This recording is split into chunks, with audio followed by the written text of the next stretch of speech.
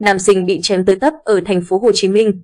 Đang di chuyển trên đường Hồ Văn Long, nam sinh lớp 11 trường Trung học phổ thông Bình Tân bị nhóm người chặn đường, chém nhiều nhát. Ngày 10 tháng 10, công an quận Bình Tân, thành phố Hồ Chí Minh đã triệu tập 9 người để lấy lời khai, điều tra vụ nam sinh lớp 11 trường Trung học phổ thông Bình Tân bị nhóm người chém gây thương tích. Vụ việc xảy ra vào chiều mùng 7 tháng 10 trên đường Hồ Văn Long, gần trường Trung học phổ thông Bình Tân. Thời điểm xảy ra vụ việc, nam sinh bị nhóm khoảng 10 người chặn xe.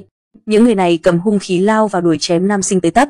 Phát hiện vụ việc, người dân xung quanh hô hoán công an đến, thì nhóm này mới chịu dừng tay và lên xe tẩu thoát. Vụ việc khiến nam sinh bị thương, được đưa đến bệnh viện cấp cứu trong tình trạng mất nhiều máu, gãy tay và đứt gần tay.